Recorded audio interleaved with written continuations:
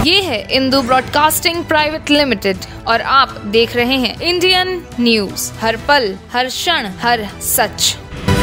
शपथ ग्रहण के बाद नई सरकार की पहली कैबिनेट बैठक। लोक कल्याण मार्ग स्थित पीएम आवास पर सोमवार को दोपहर बाद होगी।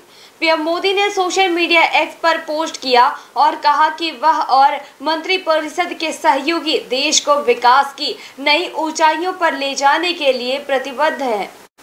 उन्होंने लिखा, राष्ट्रपति भवन के प्रांगण में हुए समारोह में मैंने प्रधानमंत्री पद की शपथ ली।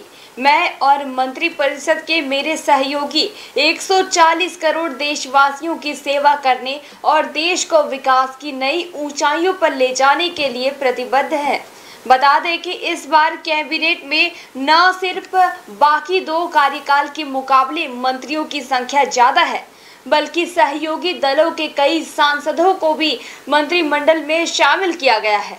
मोदी 3.0 में कुल मंत्रियों की संख्या बहत्तर है, जिसमें 30 मंत्री कैबिनेट का हिस्सा होंगे।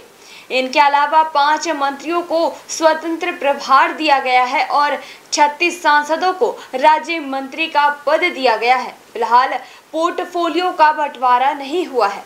मसलन मोदी 2.0 के ऐसे मंत्री हैं जिन्हें मोदी 3.0 कैबिनेट में भी शामिल किया गया है।